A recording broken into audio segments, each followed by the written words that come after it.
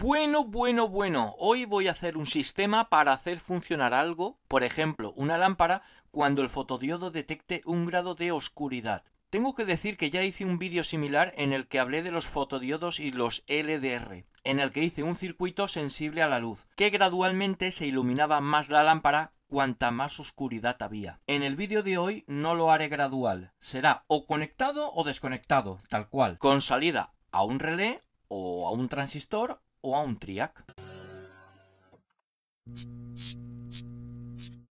Empezaremos con un amplificador operacional, el LM358, que usaremos como comparador. Os marcaré las patillas para que os sea más cómodo.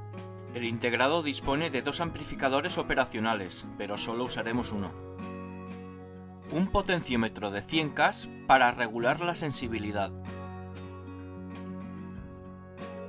El fotodiodo detector de luz conectado a la inversa y un condensador para darle un pequeño retardo y evitar que las rápidas fluctuaciones interfieran.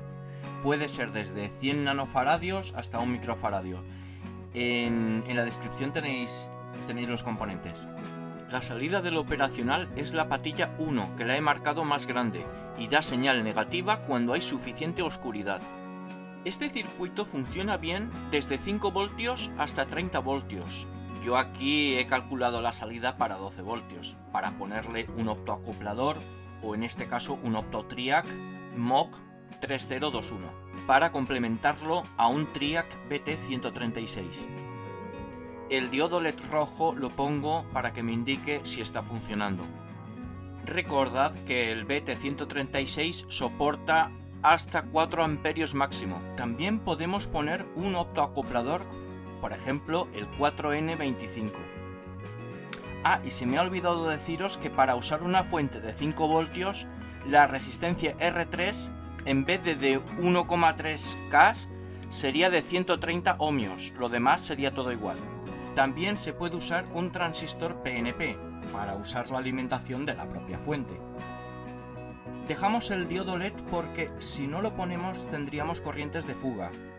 En mi caso, el transistor que uso es el BD140, que nos proporciona hasta un máximo de 1 amperio y medio. Pero si necesitáis más corriente podéis hacer uso del B772P, que proporciona hasta un máximo de 3 amperios. En el caso que queráis poner un relé, tiene que ser de la misma tensión que la fuente. Si es de 5 voltios, en mi caso consume 74 miliamperios, así que el transistor no haría falta tan grande. Con un BC558 que soporta hasta 100 miliamperios sería suficiente. Ojo que la distribución de las patillas cambia depende del transistor. Y ponemos un diodo inversamente en la bobina para evitar dañar algunos componentes cercanos sensibles a alto voltaje que se genera en la bobina cuando a esta se le interrumpe el flujo de corriente a no ser que compráis el relé con la electrónica necesaria incluida, que venden para usar en Arduino. En ese caso va todo directo, con positivo común y la salida del operacional va directo. Bueno, aquí tengo ya el circuito montado en protoboard, he puesto poca iluminación para que se vea el efecto. Al tapar el fotodiodo se enciende el LED. Lo he puesto con el MOC y el LED indicador. No he puesto nada más, pero bueno, con esto ya sería suficiente para que veamos que la prueba funciona.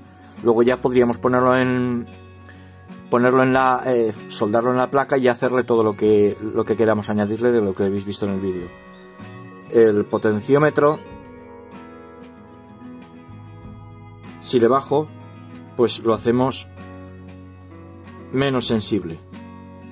Y luego si se acopla la luz del LED al fotodiodo hará que entre y el condensador actúe de retardador, entonces se verá intermitente. Vamos a probarlo.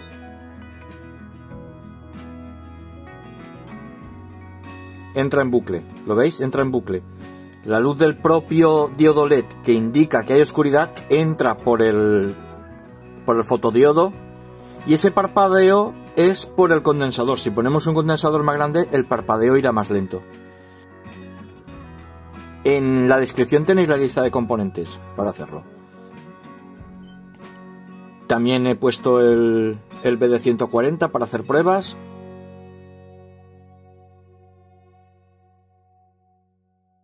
el BD140 con el indicador y luego a la salida he puesto otro diodo con, un, con una resistencia de protección.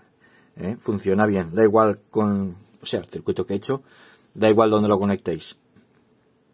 Y luego a partir de ahí, pues, o un relé o, un tria, con lo que queráis. Y aquí ya lo he montado porque a este le voy a dar uso. Ah, algunas resistencias que he puesto son SMD, por eso no las veis. Y el proyecto acabado tampoco porque tardaré en montarlo y así ya tenéis el proyecto aquí. También estoy pensando tal vez subir los esquemas en imágenes en la descripción de este y todos los vídeos. Ya veré qué hago. Y si os gusta mi contenido podéis suscribiros. Y gracias por verme.